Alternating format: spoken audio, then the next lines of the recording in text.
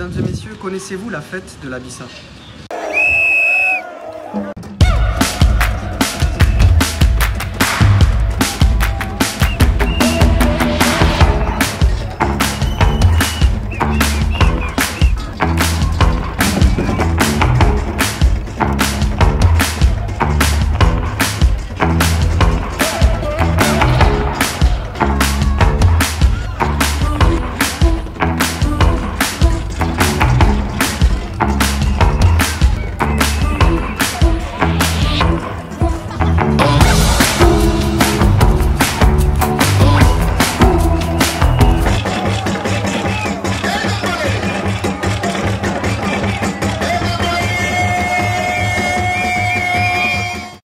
connaissez-vous les origines de l'Abissa La grande famille des Nzima est originaire du Ghana.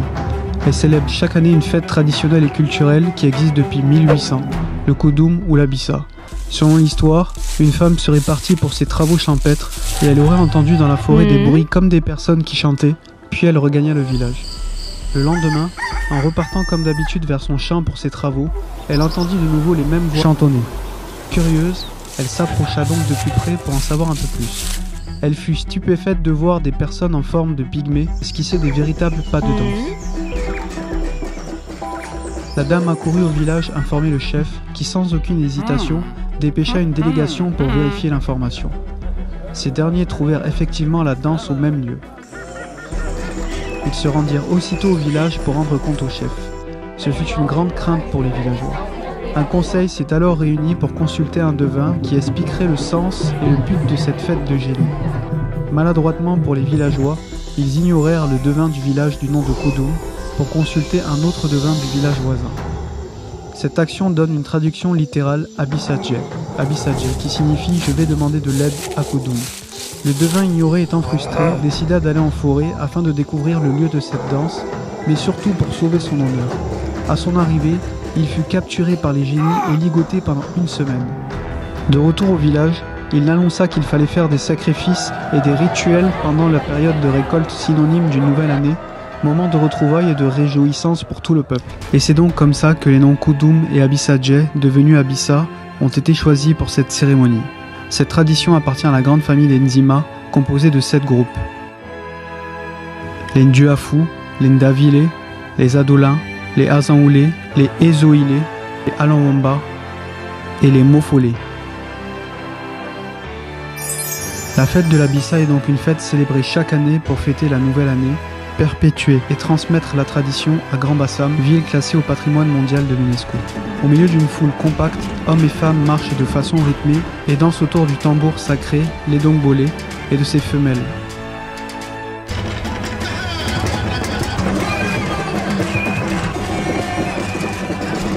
Tambour mâle donne le rythme et les trois tambours femelles donnent la mélodie.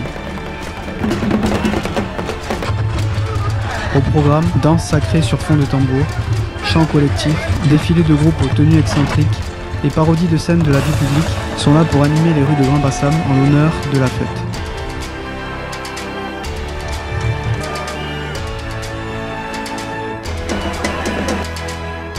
Sans oublier la sortie du roi.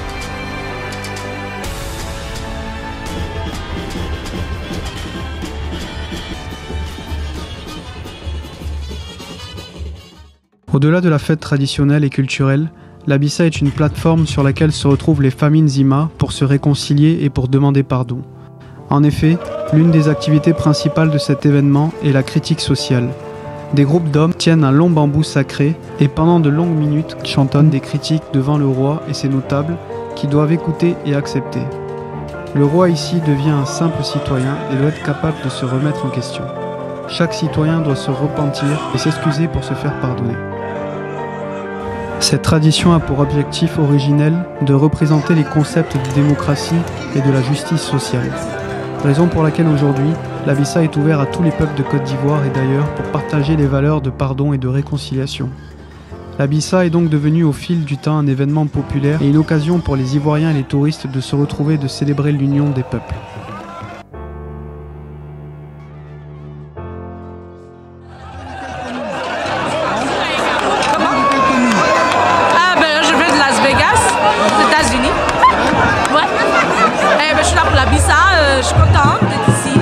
Aujourd'hui ce matin. Ah, d'accord. Ok. Donc on va terminer ça quand on finit le matin. On a déjà fini, hein. on a déjà fini, pardon.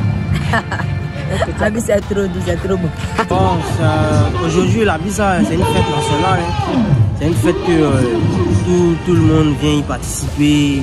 On vient découvrir aussi la culture ivoirienne et africaine. Une fête traditionnelle, moderne. Je viens à Bassam, je viens juste m'amuser. On sait jamais, on sait pas ce que l'avenir nous réserve bon. On va prochaine, on attend l'année prochaine. Pour conclure, l'Abissa est un mélange de bonne humeur, de fête, de tradition, de partage et de réconciliation. Abissa, vous m'avez conquis grâce à Orange Côte d'Ivoire qui m'a permis de vivre cet événement. À l'année prochaine.